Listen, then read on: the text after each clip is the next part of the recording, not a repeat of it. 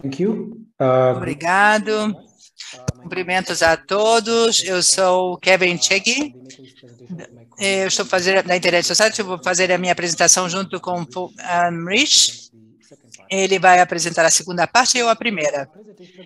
A apresentação é sobre a medida, a medição de resiliência na internet da África, falando um pouco sobre os antecedentes na região da África.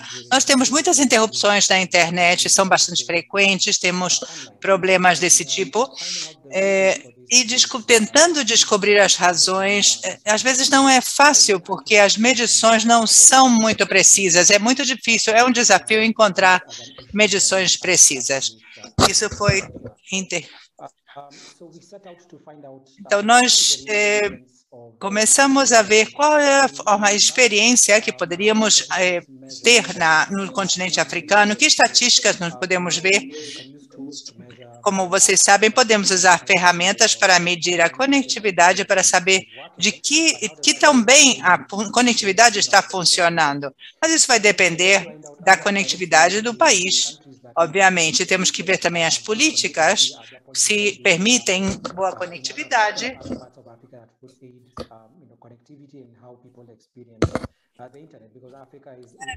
resiliência, nós, a África é um continente muito grande, as experiências são muito variáveis, dependendo da região que se trate. E na FRENIC nós decidimos então embarcar num projeto chamado MIRA. MIRA significa é, medição da resi resiliência da internet na África e tem dois objetivos fundamentais. O primeiro deles é determinar os níveis de resiliência da internet em determinados países, sempre fazendo medições de algumas métricas e fontes de dados disponíveis usando métodos escaláveis. Eu, como eu disse, a África é uma região desafiadora e nós precisamos também de um método que possa ser usado no país e replicado em outros países. A forma de apresentar, de agregar essas informações é, deve ser acessível de acordo com os alcances. O alcance pode, deve ser facilmente compreensível, tanto pelos que fazem as, as políticas, como aqueles que, eh, os, os, engenheiros eh, ou os usuários da internet. Os parceiros do projeto são a Internet Society, a FRENIC, esses são os principais parceiros, mas temos outros também, como a Universidade de, de, da cidade do Cabo, de Cape Town, a Carnegie Mellon University, Simula, e aqui no slide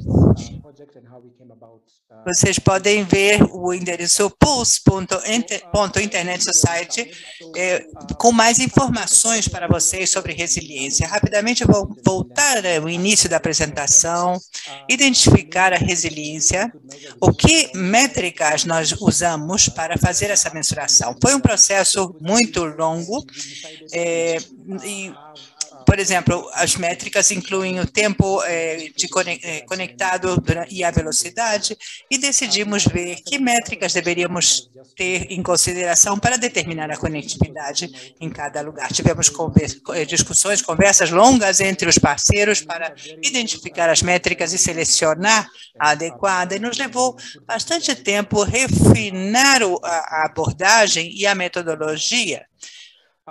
Depois, eh, vamos incluir uma, um link novo no chat para vocês e também levou muito tempo identificar as ferramentas disponíveis e as plataformas existentes para realizar as mensurações.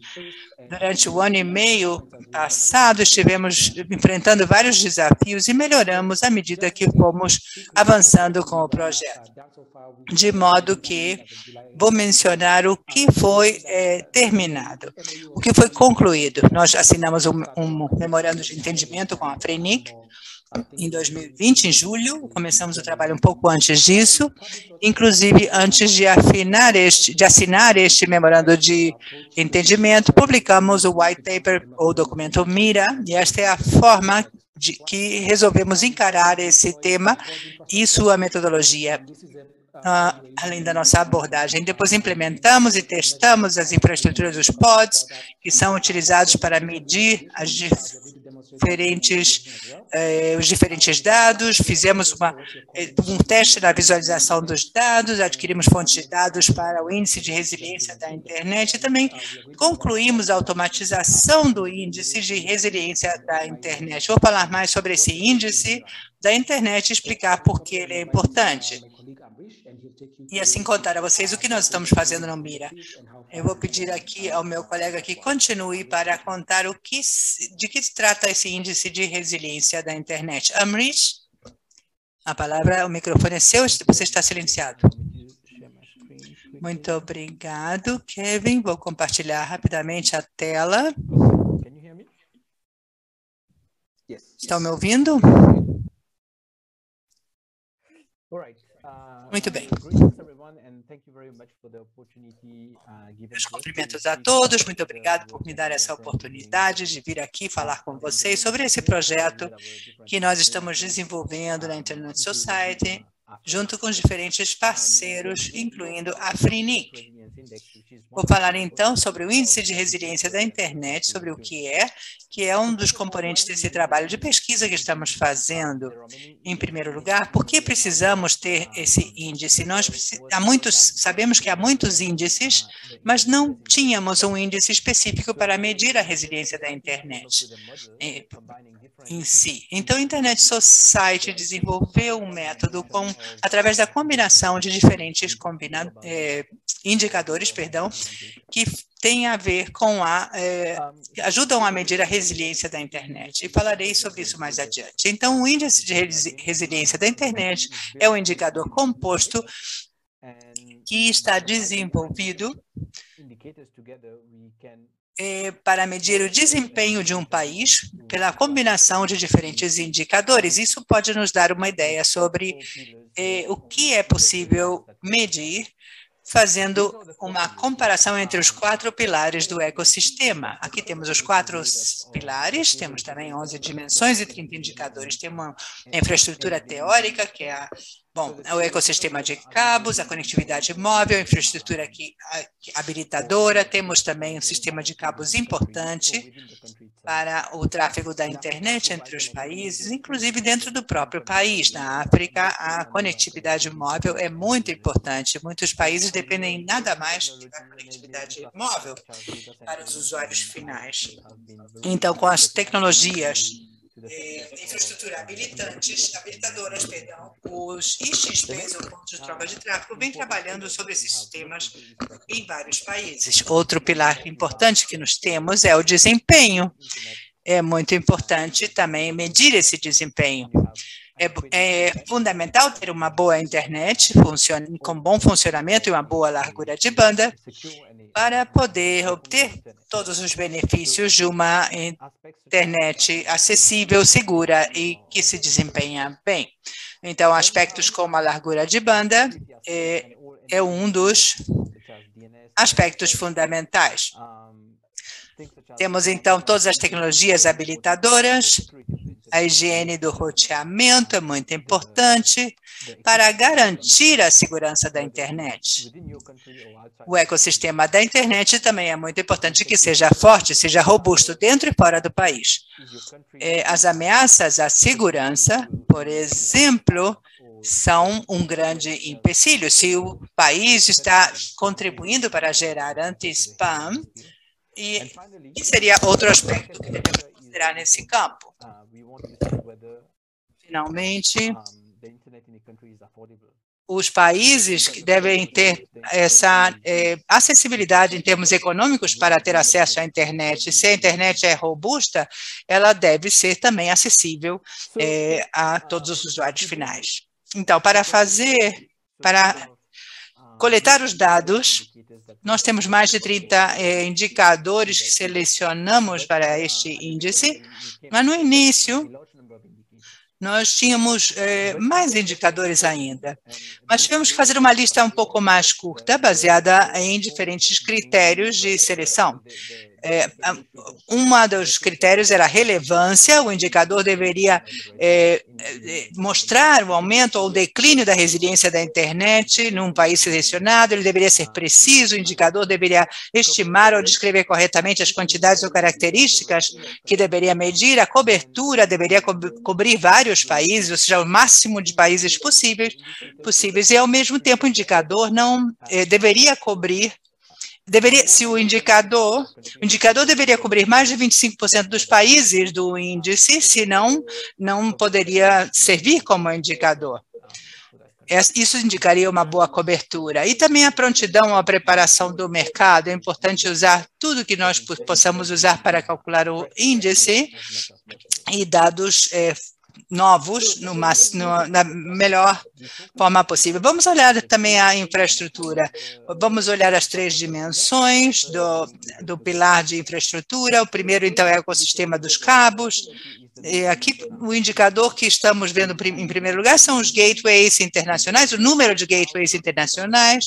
Devemos saber como é, como é a conectividade desses gateways, as estações de cabos, é, a fibra, o alcance da fibra, a presença da internet é realmente muito importante. Estamos vendo, então, coisas, por exemplo, como o alcance, que seria, o alcance da fibra seria, digamos, é, de, de, acordo com a população é, e uma infraestrutura dada,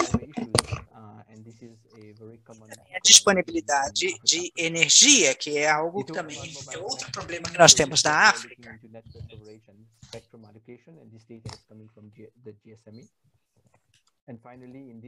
Também temos que pensar na alocação do espectro GSMA, também analisamos a quantidade de XPs, ou pontos de troca de tráfego, e quantidade de data centers. Isso nos dá um indício também sobre a, o amadurecimento, o grau de amadurecimento do ecossistema local.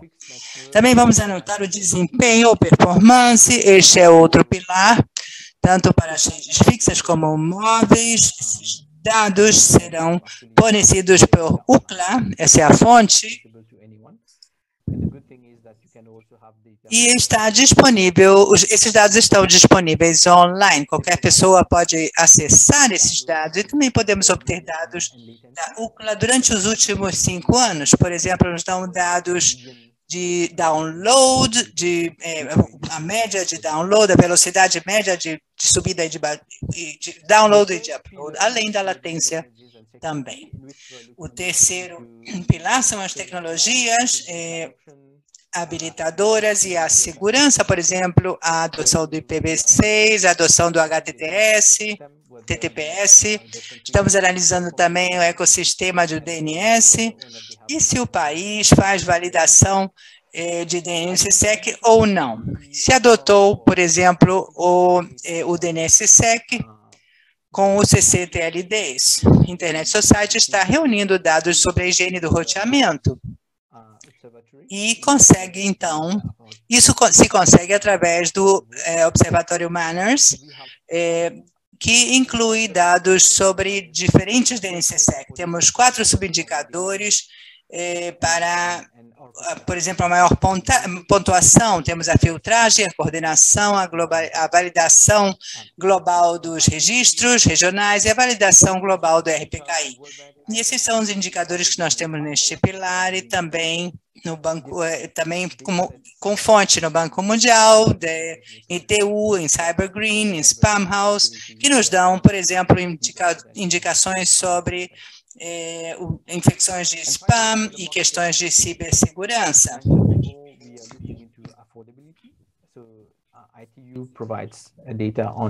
E falamos sobre a acessibilidade do mercado. A ITU vai nos dar dados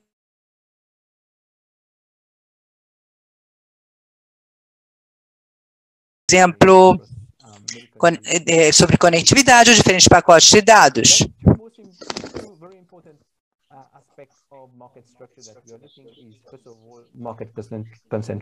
É muito importante com relação à estrutura do mercado, é a concentração do mercado, e falamos de, de um, o índice de que utilizam um cálculo para medir a concentração e também é utilizado muito em economia, em estudos econômicos. E estamos utilizando esse conceito para o nosso estudo e o cálculo desse índice. E o terceiro é a hegemonia AS. Falamos de uma medição da dependência Estamos utilizando o coeficiente de Gini, que é a medição de desigualdade nessa distribuição, a distribuição da dependência dos eh, prestadores de serviços de internet. E depois analisamos o tráfego, o tráfego local, e para isso utilizamos diferentes indicadores. O primeiro indicador é a eficiência da, do peering, quantas ASN estão fazendo peering em, em IPs locais e também a quantidade de domínios, a quantidade ou a, o porcentagem de conteúdo local que está alocado no país. E, finalmente, as Nações Unidas nos dão um índice de governo eletrônico e o desenvolvimento de governo eletrônico no país, nós sabemos que o portal de um, do, do governo são um bom proxy para esse indicador. Uma vez que temos todos esses indicadores e nós coletamos os dados necessários, devemos fazer a ponderação desses dados. Quando fazemos essa ponderação de um índice, podemos utilizar diferentes técnicas para dar diferentes pesos a esses indicadores, as dimensões também, e os pilares Podemos utilizar análises estatísticos entre os indicadores para ver a relação entre eles, ou podemos também eh, utilizar uma análise de componente principal, mas estamos utilizando agora uma abordagem qualitativa. É, fizemos uma, pesquisa no começo do estudo e todas as pessoas pesquisadas é, de, eles de, perguntávamos quais acreditavam que eram, qual desses indicadores era o mais importante.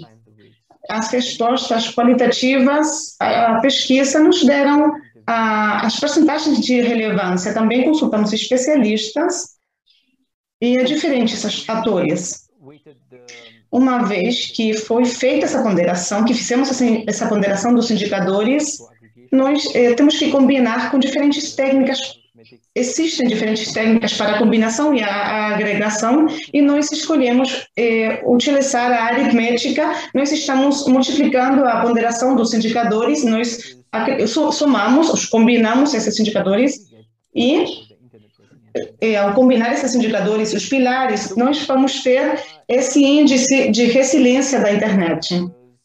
Aqui vemos uma prova de, conce de conceito porque em, em, daqui a pouco tempo vamos publicar na nossa plataforma, está internetsociety.com, vamos eh, publicar essa informação. E, enquanto isso, se vocês querem investigar e analisar esse índice de resiliência da internet, você podem ver aí em tinyurl.com Resilience Index e ali vocês vão ter a poder aceder a esses dados. E também podem ter uma, uma comparação de dados dos países. Uma análise muito rápida dos dados que nós já coletamos diz que, em média, esses países que têm um menor índice de resiliência, com exceção de Ruanda, Marrocos, Quênia, é, África do Sul, são os mais fortes. Com relação a esse índice, é, graças aos bons pontagens que tiveram nas diferentes categorias, com isso com os diferentes pilares de estudo, alguns países é, do litoral são mais fortes, com, é, com, exceção, com a, a exceção de Eritreia, que, embora seja um país é, de litoral da costa, não tem rede de cabo, não tem estações de cabo o, o que é muito é, uma surpresa. E a, os países do centro da, da República da África têm uma, uma, uma estrutura, uma relação de estrutura pobre. Com, graças a isso, vamos poder fazer uma análise mais profunda para ver que tipo de políticas poderiam ser implementadas ou quais, quais indicadores deveriam os governos contemplar para melhorar esse índice. Essa é a primeira parte do nosso projeto. A segunda parte do nosso projeto é a infraestrutura de medição ativa que estamos construindo, e para isso utilizamos o que nós chamamos de Mirapods, que é um, um, são dispositivos Raspberry que nós implementamos na nossa infraestrutura para a medição. Nós estamos coletando informações de largo de, bando, de banda. Esses pods estão fazendo provas de largo de banda, de largura de banda, e também está sendo feita uma, uma avaliação da implementação de HIP, como já falou o Kevin. Nós não queremos inventar a roda novamente, mas o que nós queremos é aproveitar a infraestrutura existente, como o Hype Atlas, e, e diferentes clientes de, soft, de software para trabalharmos juntos e criar uma infraestrutura de medição que realmente possa satisfazer as nossas necessidades. Estamos agora na etapa de prova, na, na etapa de testes, já implementamos em 10 países da África e temos uns 20 dispositivos ativos atualmente. Então, queremos acrescentar alguns dispositivos para ampliar a cobertura nesses, nesses países. Então,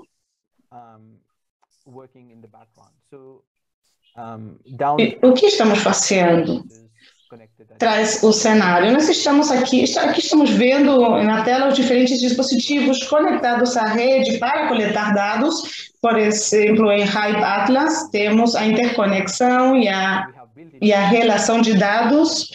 Por exemplo, o Mirapod, que, mira, que envia dados à MLab. Também temos a rede de dados que recebe e e encaminha dados para os diferentes conjuntos. Também temos um, um, um, conjunto de dados secundários, que são medições passivas, eh, dados para medições passivas, que, por exemplo, obtemos de, podemos obter dos DNS ou dos VCP, e temos um conjunto de analítica que vai reunir tudo e, finalmente, vai apresentar esses resultados à API do, do Mira.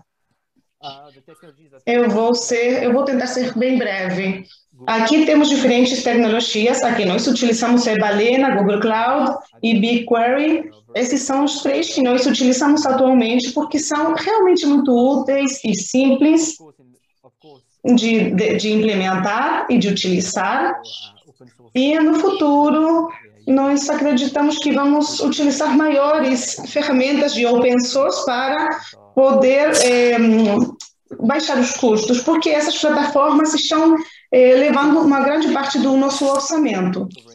Como eu já disse, disse antes, nós estamos abrangendo diferentes países na nossa fase experimental e temos dados ao vivo que, que os nossos dispositivos então, nos, nos dão e nós podemos utilizar é, utilizá-los através dessas plataformas. O nosso plano é poder visualizar esses dados para poder implementar a infraestrutura no mínimo, é, no, pelo menos no, no o de visualizações, PULS, que entram nas diferentes áreas de interesse para oferecer serviços e dar informação sobre a internet, da internet, incluindo a resiliência da internet.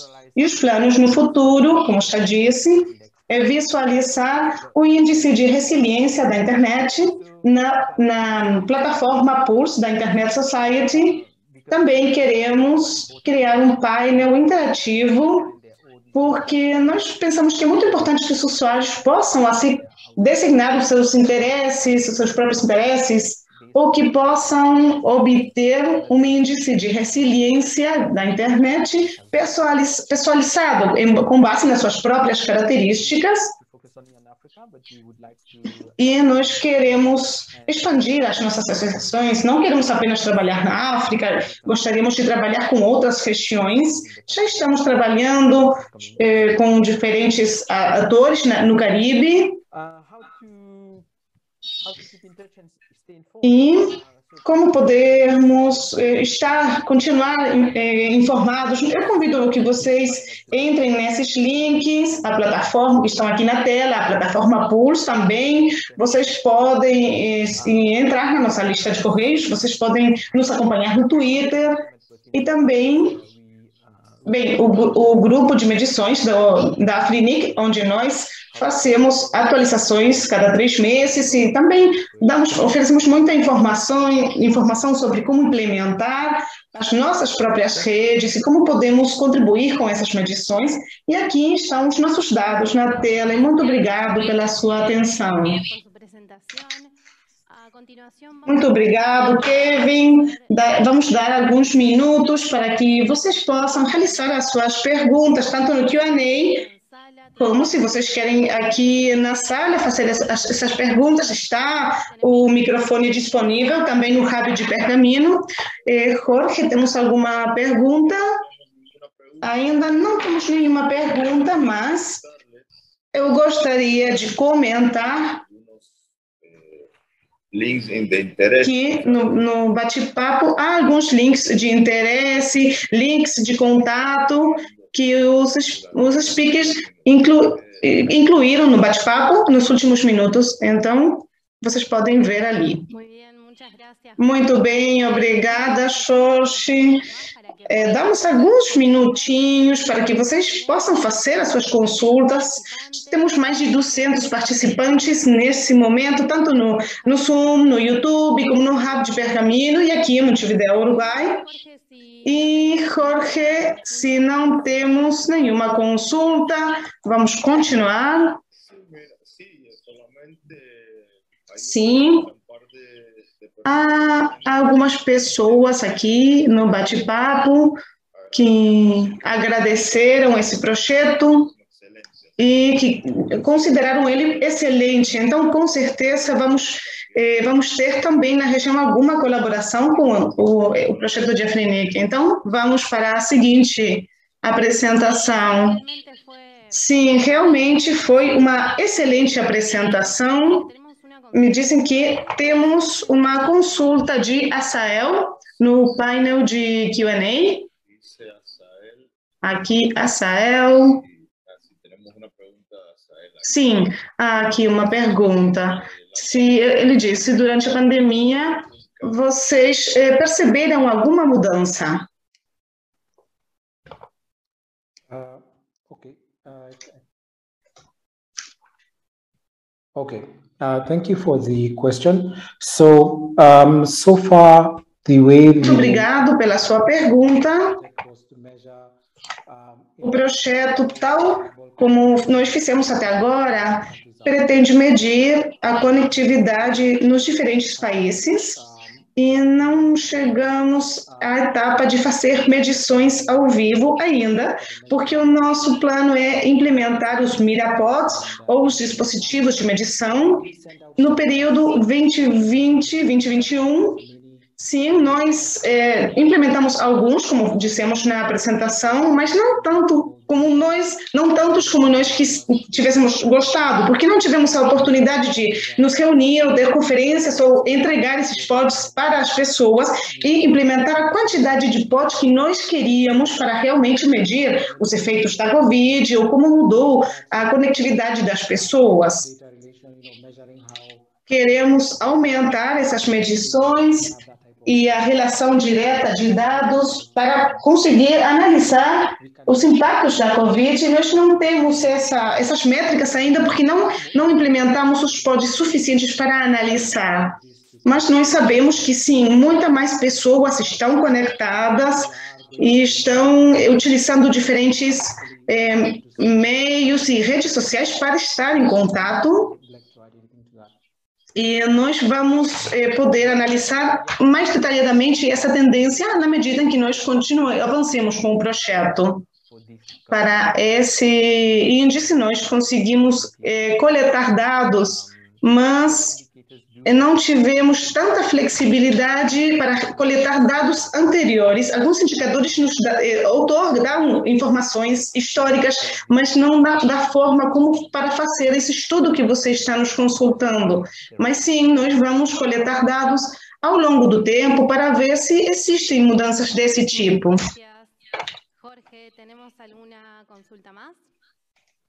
Muito obrigado. Jorge, temos uma, pedido, uma pergunta a mais. Aqui nos estão perguntando quantas sondas são necessárias para ter uma amostra significativa de um país. Eu posso responder essa pergunta. Nós eh, lançamos inicialmente planos para ter cinco por país, cinco sondas e é, para uma para cada é. A ideia era não era enviar sondas demais, porque tínhamos problemas